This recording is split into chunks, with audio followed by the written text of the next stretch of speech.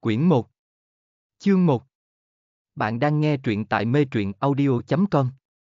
Ngày hè oi nồng, ánh mặt trời như lửa đỏ rực bên sông, hơi nóng bủa vây căn phòng không có điều hòa, ngột ngạt như trong lò lửa, trời rất nóng nhưng lòng tần chiêu chiêu lại lạnh giá vô cùng, tất cả chỉ vì cuộc điện thoại của mẹ cô khi nãy. Mẹ gọi tới cũng chỉ kể mấy chuyện vặt vảnh trong nhà, vốn chẳng có gì đáng để tâm trạng của cô trùng xuống như vậy. Thế nhưng mẹ sực nhớ ra, báo cho cô. Căn nhà cấp 4 chúng ta ở trước kia sắp bị dỡ bỏ, hàng xóm xung quanh cũng chuyển đi hết rồi. Chính quyền thành phố đang có ý định xây lại chỗ này thành nhà cho thuê giá rẻ, căn hộ cũ của Tần gia vốn do cơ quan ba mẹ Tần chiêu chiêu phân cho nhân viên, tới lúc cần dỡ bỏ rồi sao? Thật khó mà tin được chuyện này, cô không sửng sốt. Khi nào thì phá dỡ à? Cũng sắp rồi, chính quyền yêu cầu toàn bộ dân cư nhanh chóng chuyển đi trong vòng nửa tháng, giải tỏa SNG sẽ tiến hành dỡ bỏ mấy gian nhà cũ rồi xây nhà mới lên. Có nửa tháng thôi à, sao nhanh thế? Ừ, nhanh vậy đấy. Mẹ nghe nói kinh phí lần này lấy từ ngân sách dành để xây dựng nhà cho thuê giá rẻ của nhà nước.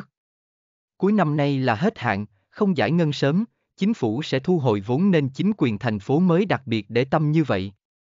Bao nhiêu người như thế, bảo dọn thì dọn đi đâu được. Cũng phải đến vài chục hộ ấy chứ, mà chuyển nhà đâu phải chuyện đơn giản.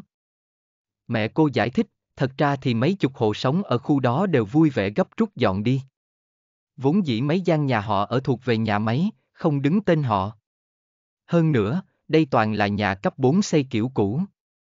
Nhỏ hẹp, ẩm ướt lại không có nhà vệ sinh riêng, những người còn lại ở đó đến giờ chủ yếu là do không đủ tiền mua căn nhà mới tử tế. Nay tự nhiên chính quyền có ý định xây nhà cho thuê giá rẻ mà thực chất là sửa sang lại nhà cửa rồi thống nhất cho những gia đình khó khăn thuê. Tiền thuê nhà có một tệ một mét vuông, không khác nào được ở không đâu. Hơn nữa, những hộ cần chuyển đi để lấy đất cho dự án sau này có thể được ưu tiên phân cho một căn, chẳng khác nào được cấp nguyên nhà mới, có ai không vui vẻ chuyển đi chứ? Thế nên mọi người đều nhanh chóng tìm chỗ để chuyển đi cả rồi, có điều, phải chuyển nhà cũng rất phiền phức, chỉ chuyển tạm thời càng phiền toái hơn. Cũng may nhà mình đã mua được nhà mới, sửa sang đâu vào đấy rồi, vừa kịp để va mẹ chuyển qua bên đó. Vốn dĩ ba con chẳng muốn đi đâu, ông ấy bảo ở nhà trệt thế này quen rồi, giờ chuyển sang nhà lầu thấy không quen, định giữ lại căn nhà bên kia để khi nào con về thì ở, còn ba mẹ cứ ở nhà trệt bên này thôi. Giờ thì chẳng ở được nữa rồi, mấy bữa nay ba mẹ đang lục tục chuẩn bị dọn nhà. Trong nhà nhiều đồ linh tinh quá, thượng vàng hạ cám gì cũng có, mấy thứ này chẳng mang sang nhà mới làm gì. Mẹ quay về sửa soạn một chút, xem cái gì cần thì giữ lại, cái gì có thể bỏ thì bỏ bớt. Đồ đạc của con mẹ chẳng biết bỏ cái gì, thôi thì cứ giữ lại hết, sau này lúc nào về nghĩ con xem lại muốn giữ cái gì thì giữ, không thì bỏ, thế nhé. Bình thường vẫn nghe nơi này, nơi kia phải phá dỡ hay giải tỏa nhưng Tần Chiêu Chiêu chưa bao giờ nghĩ rằng sẽ có ngày căn nhà mình đã sống từ nhỏ cũng bị giải tỏa. Cô vẫn nghĩ sẽ chẳng bao giờ có ngày đó đâu, vì khu nhà máy cũ nằm ở ngoại ô phía đông thành phố, cách xa nội thành, mấy công ty địa ốc hay phòng môi giới nhà đất đều chẳng buồn để mắt tới vùng này. Thật không ngờ có ngày chính quyền lại muốn xây nhà cho thuê giá rẻ ở đây, vậy là căn nhà cũ của gia đình cô chẳng giữ được nữa rồi, đặt điện thoại xuống, ngoài kia ánh dương vẫn rừng rực thiêu đốt, hơi nóng vẫn bủa vây căn phòng hầm hập như lò lửa, nhưng tần chiêu chiêu lại thấy tim mình nguội lạnh, một niềm xúc động dâng lên trong lòng chỉ chực bật ra thành nước mắt, nhà cũ phải phá bỏ rồi, chỉ là sao cô lại luyến tiếc đến thế? Dẫu rằng ngày còn bé cô cũng từng uất hận tại sao mình phải sống. Trong gian nhà cũ nát kinh khủng đó. Căn nhà cũ kỹ, sơ sài lại âm u, ẩm thấp, mỗi lần trời mưa đều phải mang chậu rửa bát ra hứng nước dột. Nhưng con người sinh ra có ai được lựa chọn chốn xuất thân, cuộc đời cô bất đắc dĩ khởi đầu từ nơi đó rồi. Bao nhiêu năm tháng trôi qua, căn nắp cũ kỹ ấy đã cùng cô lớn lên, dõi theo cô từ khi nhỏ xíu, bi bô tập nói cho đến ngày trưởng thành, trở thành một cô gái duyên dáng, yêu kiều. Căn nhà ấy ông trọn trong mình tất cả những tháng ngày đẹp đẽ nhất của cuộc đời cô, ngôi nhà cũng là chứng nhân thầm lặng cất giữ mọi tâm sự, bí mật của cô. Người cô từng thích, người từng thích cô. Trong căn phòng bé nhỏ chục mét vuông này, dưới ánh đèn bàn vàng vọt kia, cô nắng nót từng nét chữ viết thư. Những bức thư ấy, chẳng biết tới giờ họ còn giữ không? Nếu còn, hẳn những nét chữ xanh xanh ngượng nghịu, vùng dài khi xưa đã tan vào năm tháng chảy trôi và nhạt nhòa gần như chẳng còn gì nữa rồi. Ngày nào đó, nếu họ vô tình thấy lại chúng trong đống đồ cũ, chẳng biết có còn nhớ được những dòng chữ ấy là của ai không? Thế nhưng, ngôi nhà cũ kia thì hẳn còn nhớ, nhớ rõ lắm.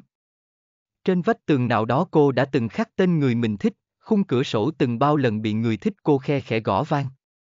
Căn nhà cũ giống như bảo tang của cuộc đời cô, âm thầm cất giữ những tháng ngày, những tình yêu và mộng tưởng tươi đẹp nhất trong cuộc đời cô. Vậy mà giờ đây, cô lại mất nó. Nước mắt lặng lẽ tuôn rơi, từng giọt từng giọt, ướt đẫm vạt áo. Trong làn nước mắt, những chuyện cũ năm xưa như một nhúm trà xanh, dịu dàng bung nở giữa dòng ký ức ấm áp, tỏa ra mùi hương thơm ngát cùng dư vị chua xót mãi không tan, thuở nhỏ, Tần Chiêu Chiêu thích nhất hai việc là ăn và chơi, thật ra đứa trẻ con nào cũng ham ăn, ham chơi, nhưng có thể coi Tần Chiêu Chiêu là ham ăn, ham chơi nhất trong số đó. Về khoản ăn uống, miệng cô đặc biệt tham lam, không bao giờ nhịn được khi thấy đồ ăn, nước miếng cứ thế ứa ra, vô cùng thèm thuồng, khi đó là những năm 80 của thế kỷ 20, cái ăn cái uống còn thiếu thốn nhiều. Mặc dù cải tổ kinh tế, một như làn gió xuân tươi mới đã bắt đầu thổi qua những vùng duyên hải hẻo lánh, nhưng đối với những thành phố nằm sâu trong đại lục, đó vẫn chỉ như gió xuân không qua nổi ải ngọc môn hai, chẳng thấm tháp gì, một cải tổ kinh tế Trung Quốc, cải cách khai phóng. Là một chương trình thực hiện các thay đổi về kinh tế gọi là chủ nghĩa xã hội mang màu sắc Trung Quốc do Đặng Tiểu Bình đề xướng và lãnh đạo từ cuối những năm 70 của thế kỷ 20 và vẫn tiếp tục ở đầu thế kỷ 21 với mục tiêu cải tổ nền kinh tế Trung Quốc, tạo ra giá trị thặng dư đủ để cung cấp tài chính cho công cuộc hiện đại hóa nền kinh tế của Trung Quốc đại lục. 2. Nguyên văn Xuân Phong bất độ Ngọc Môn Quan, trích lương châu từ của Vương Chi Hoán đời đường.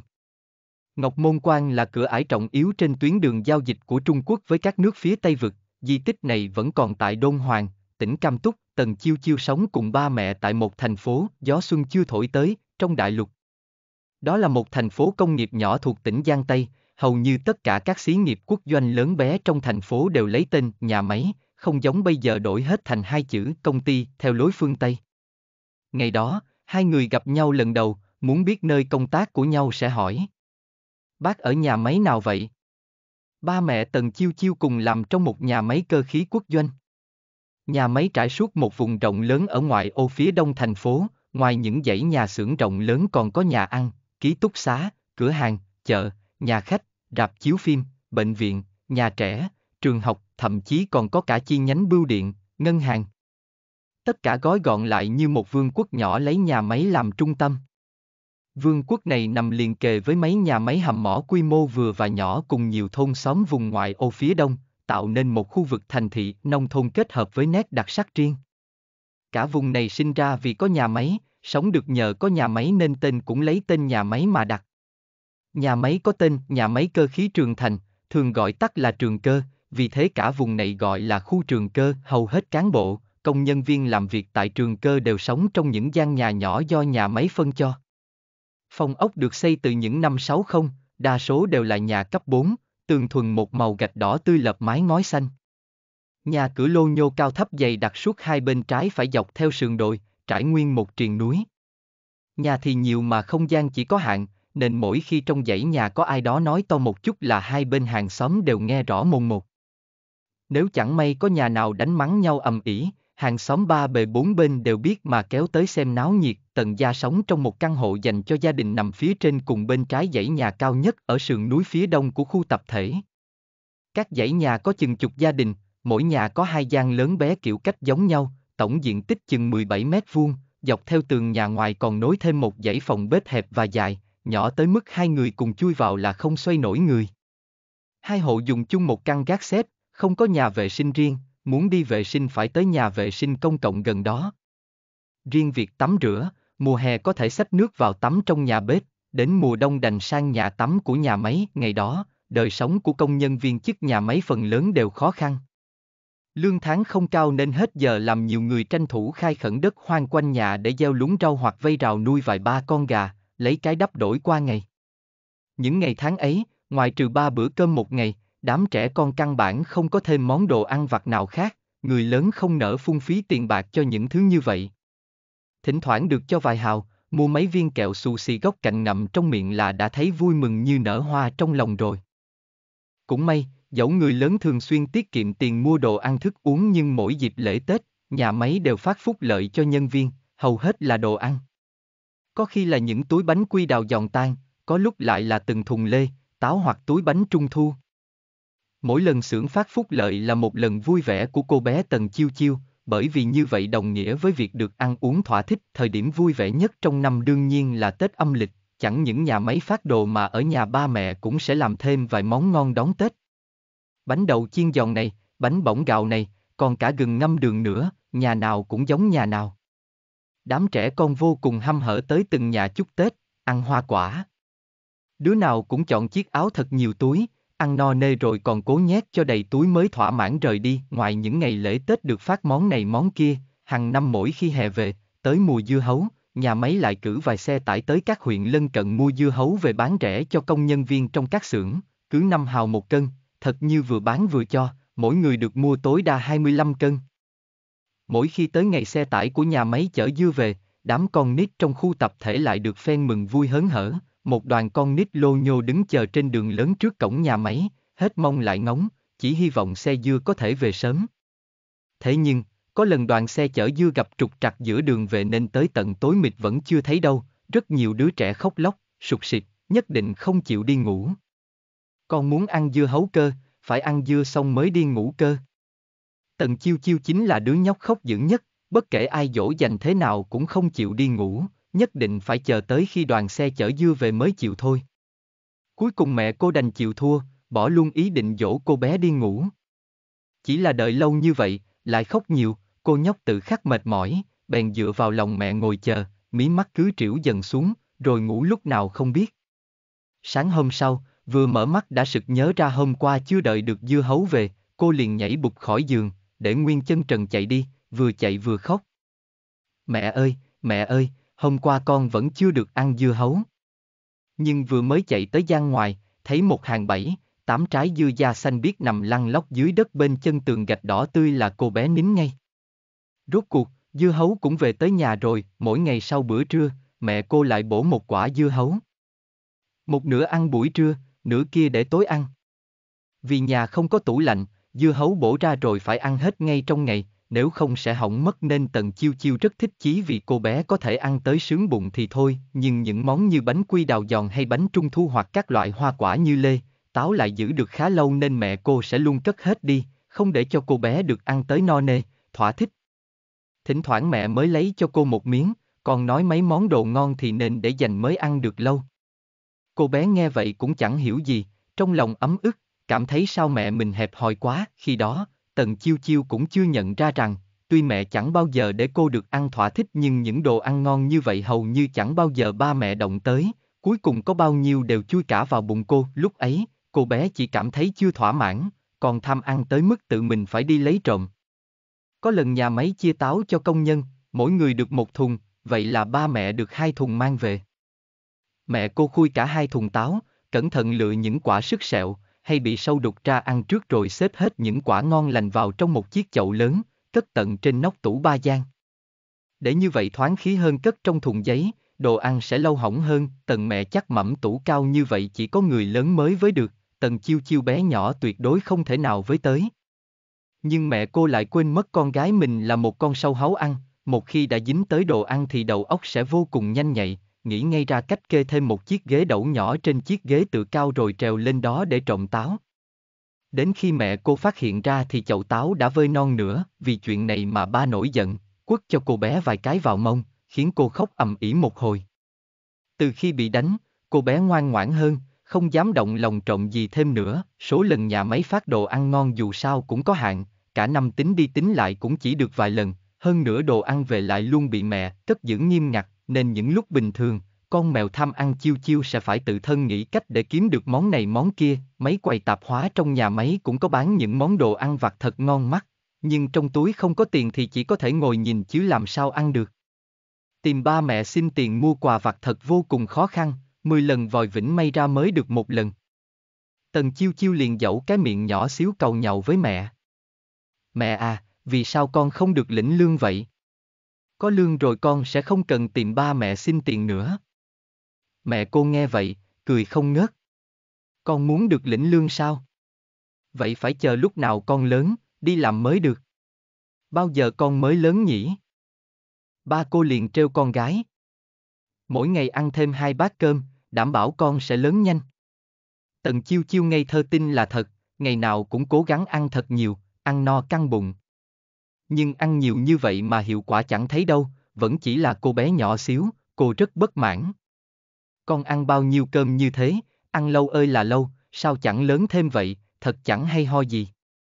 Chuyện lớn nhanh xem chừng rất xa vời, muốn được lĩnh lương cũng không thể ngày một ngày hai được, Tần Chiêu Chiêu chỉ còn cách là thường xuyên tìm cớ vòi vĩnh ba mẹ tiền mua đồ ăn, tất nhiên chuyện này rất khó khăn.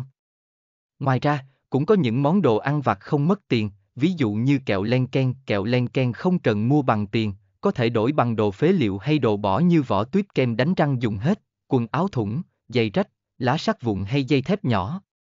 Ông lão vẫn hay gánh gánh hàng kẹo len ken đi hết nhà này sang nhà kia luôn là người được đám con nít trong khu hoang nghênh nhất, mỗi lần vừa nghe thấy tiếng rao kẹo len ken, kẹo len ken đây, là lũ trẻ con lại ù về phía ông như bầy én nhỏ, kẹo len ken là một khối kẹo tròn, lớn bằng mặt thớt, bên ngoài phủ một lớp đường kết tinh trắng muốt như bột phấn, bên trong vàng ruộng, ống ả như lúa mạch chín. Khối kẹo giòn và rất cứng, ông già bán kẹo phải dùng một lưỡi đục và một cây búa nhỏ ghè khối kẹo lớn thành từng viên nhỏ giống như người ta đẽo đá, búa chạm lưỡi đục tạo nên những tiếng len ken nên mới có tên là kẹo len ken. Viên kẹo cứng đơ như vậy nhưng vừa ngấm nước bọt là sẽ nhanh chóng mềm ra, cắn một miếng là có thể kéo ra thành sợi vừa nhỏ vừa dài, mùi vị vô cùng thơm ngon, ngọt ngào nhưng dính răng không gì bằng. Người lớn không thích ăn món này, nhưng trẻ nhỏ thì cực kỳ ưa thích, nhưng thích thì thích vậy chứ cơ hội đổi được kẹo để ăn không nhiều. Gánh kẹo len ken của ông lão cơ hồ ngày nào cũng ghé qua khu tập thể nhưng vỏ kem đánh răng, giày rách, sắt vụn, dây thép hỏng đâu phải ngày nào cũng có. Cuộc sống khó khăn nên người lớn ai ai cũng tiết kiệm, quần áo mặc trách thì mạng vá lại rồi mặc tiếp, giày hỏng rồi cũng không tùy tiện vứt bỏ. Những đôi xăng đang nhựa đi mấy năm đã trách vẫn được giữ lại, nếu đôi đang dùng chẳng may đứt quai, sẽ cắt lấy một mảnh từ đôi cũ hơ qua trên lửa cho mềm rồi gắn lên, tiếp tục dùng. Hầu như nhà nào cũng tiết kiệm như vậy nên những thứ gọi là đồ bỏ mà bọn trẻ có thể mang đi đổi lấy kẹo ăn thật sự không dễ kiếm chút nào. Thời thơ ấu, Tần Chiêu Chiêu nhớ mãi hai lần đi đổi kẹo len ken. Một lần, cô bé nặng sạch kem đánh răng còn trong tuyết ra rồi lấy vỏ mang đi đổi kẹo, kết quả thế nào chẳng nói cũng biết, cô bé lại bị ba đét cho vài cái. Lần khác là khi cô bé lang thang chơi trong khu công trường đang thi công thì nhặt được một chiếc búa, từ lưỡi đến cán búa đều làm bằng sắt. Cầm cây búa nặng trịch trong tay, việc đầu tiên cô bé nghĩ tới là mang nó đi đổi kẹo ăn. Ông già đổi kẹo vừa nhìn thấy cây búa là mặt mày hớn hở, liền đem khối kẹo to bằng bàn tay còn lại trong gánh đưa cả cho cô bé.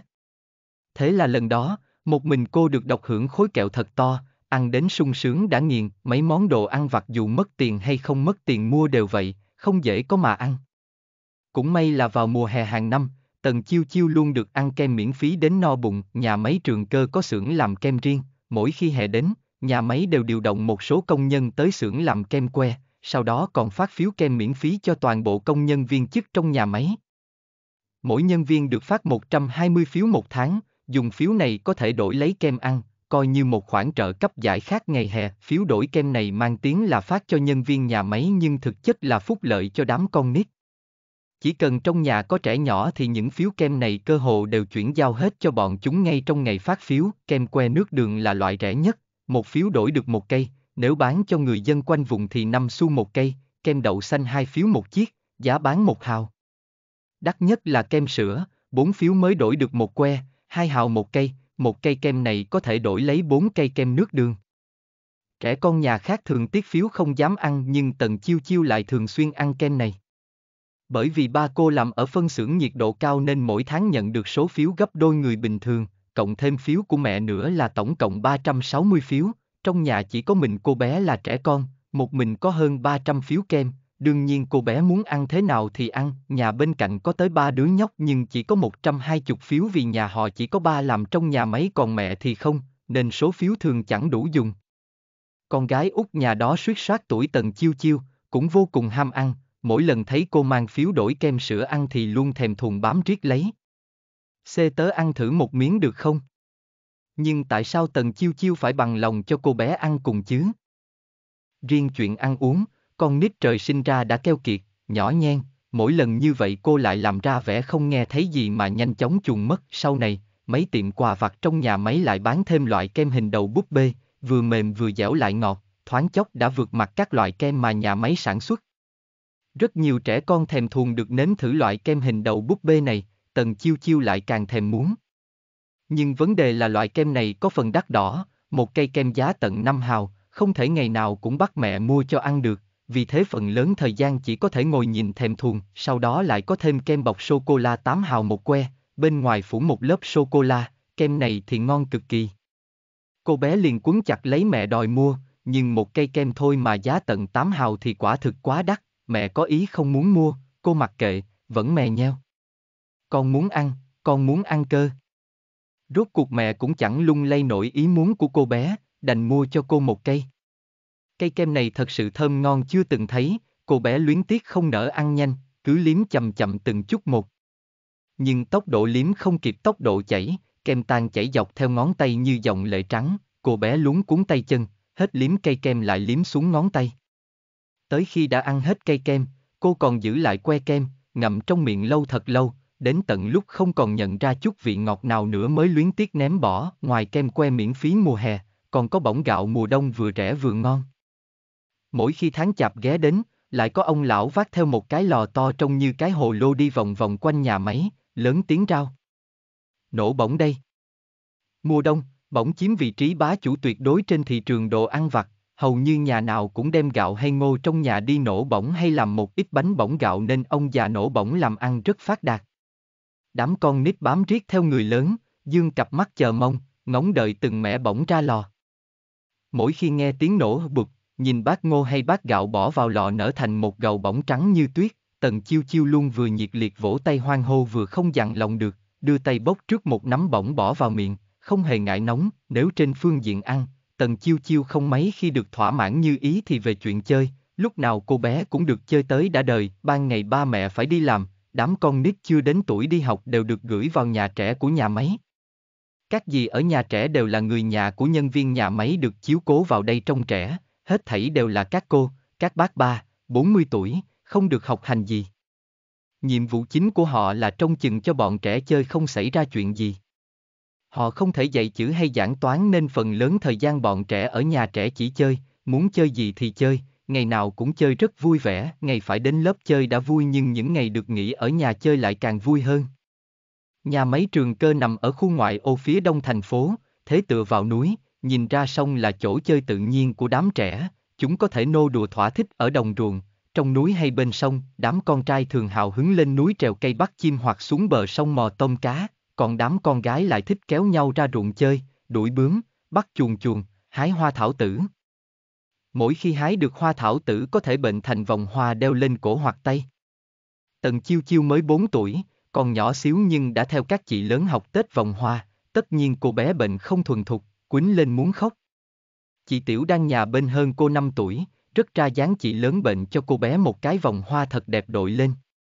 Cô bé đeo cả ngày, lưu luyến không nỡ tháo xuống, tới khi về đến nhà còn lén lút soi gương làm đỏm. Con gái hình như trời sinh ra đã biết yêu thích cái đẹp, những ngày không ra ngoài chơi, cô bé sẽ cùng các chị lớn chơi nhảy dây trên con đường trước cửa nhà, chích chích chích, chim én kêu chích chích chích, mã lan nở hoa, 21, 256, 257, 258, 28, 29, 31, cô bé nhảy dây rất khá, còn ít tuổi nhưng tay chân động tác rất linh hoạt. Có điều, đến lúc chơi lò cò nhảy ô lại không được vậy, lò cò trên một chân rất khó giữ thăng bằng, chưa kể còn khó điều chỉnh lực dưới chân, hơi động một chút là đá văng viên gạch nhỏ dưới chân ra khỏi đường kẻ ô, vì thế các chị lớn không thích chơi chung với cô, thường gạt cô bé sang một bên ngồi xem, không chỉ thế, cả đám còn cùng nhau chơi trò gia đình, ban đầu chỉ bắt chước lại mấy chuyện trong nhà hàng ngày. Người đóng vai ba, người đóng vai mẹ, còn có thêm ông nội, bà nội, giả vờ là một gia đình lớn sống cùng một nhà. Ba mẹ ngày ngày đi làm, bà nội ở nhà nấu cơm, ông nội trồng trọt rau củ, bé cưng của cả nhà thì đi học, vân vân. Sau này còn bắt chước cả những hoạt động trên lớp, đóng vai thầy giáo, cô giáo, hiệu trưởng. Cứ thế, sau này từ trò chơi đóng vai gia đình mà trở nên sôi nổi rầm rộ, còn chuyển sang bắt chước theo những phim truyền hình ăn khách nữa. Khi đó, bộ phim truyền hình Hồng Kông anh hùng xạ điêu đang vô cùng ăn khách, nếu một đám tiểu cô nương tụ họp lại với nhau cùng chơi đóng kịch, hẳn sẽ rất thích thú bắt chước những diễn viên nổi tiếng trên TV, hầu như đều tranh nhau được sắm vai Hoàng Dung, kế tới là một niệm từ. Vậy là thành phiên bản thăng cấp của trò chơi gia đình, giờ còn cần cả sân khấu, đạo cụ nữa. Bởi vì muốn bắt chước các nhân vật cổ trang cần phải có hóa trang, phục trang, ví như muốn đóng vai Hoàng Dung cô nương thì đầu cần chải mấy lọn đuôi sam rủ xuống bên tai, trên đầu còn phải cài vài đóa hoa, người khoác thêm tấm ga trải giường hay chiếc khăn lông dài để giả như tà áo thước tha trong những bộ cổ trang. Hơn nữa, quan trọng nhất là cần phải trang điểm, mấy cô bé không có son để tô môi hồng, chỉ có một cây bút nước đỏ nhưng cũng liệu cơm gắp mắm tô lên môi thành màu hồng hồng, lại điểm thêm một nốt son giữa ấn đường, thế là coi như chuẩn bị xong xuôi, trò chơi đòi hỏi phải hóa trang cho thật xinh đẹp này đối với một đám tiểu cô nương thật có sức hấp dẫn khó cưỡng, trò chơi thường diễn ra ở nhà chị Tiểu Đan. Mấy cô bé học trò cứ tan lớp là rủ nhau chạy thẳng đến nhà chị.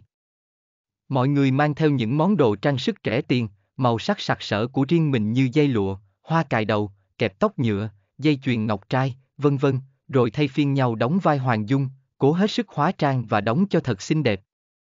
Tần Chiêu Chiêu cũng muốn tham gia với các chị, ban đầu các chị chê cô nhỏ quá, không muốn cho chơi cùng, cuối cùng cũng miễn cưỡng tiếp nhận, nhưng luôn đẩy cho cô đóng vai cô khùng, không cần chải đầu, cài hoa hay hóa trang gì hết, cô vô cùng thất vọng, chung quy vẫn là chị Tiểu đang tốt bụng nhất, một ngày nọ chị cũng cho Tần Chiêu Chiêu được sắm vai Hoàng Dung một lần. Chị chải đầu cho cô, tết thành rất nhiều đuôi sam, một ít tết lại thành búi, một ít thả xuống hai bên má, còn cuốn vòng cổ trân châu lên một que kem nhỏ, làm thành chiếc trâm cài đầu cắm vào búi tóc của cô. Chỉ còn dùng bút nước đỏ tô hồng đôi môi nhỏ xíu, điểm thêm một nốt ruồi son, cô nhóc trong gương giống như lột xác, biến thành người khác. Hôm đó, sau khi trò chơi kết thúc, tần chiêu chiêu lưu luyến không nở tháo trang sức. Cô bé đứng trước gương, soi thế nào cũng không thấy đủ, cảm thấy mình thật xinh đẹp. Trong lòng phấn chấn không sao nói nên lời, cuộc sống vật chất khó khăn nhưng khi đám trẻ con cùng nhau chơi đùa lại đủ trò, muôn màu muôn vẻ. Những ngày tháng đó để lại cho Tần Chiêu Chiêu ký ức về một thời thơ ấu vui vẻ trước khi đi học. Đám trẻ con trong khu tập thể thường dựa theo tuổi mà xưng bạn gọi bè, nô dẫn với nhau, chẳng bao giờ phải rầu rĩ vì không tìm được bạn chơi. Tần Chiêu Chiêu gần như quen thuộc với từng gương mặt trẻ con ngây thơ ở nơi này dù chưa chắc có thể gọi được hết tên, thế nhưng có một ngày, Tần Chiêu Chiêu phát hiện trong khu tập thể nhà máy hóa ra còn có một khuôn mặt non nớt hoàn toàn xa lạ với cô bé. Nghe trọn bộ tại mê truyện audio.com, link trực tiếp ở phần mô tả.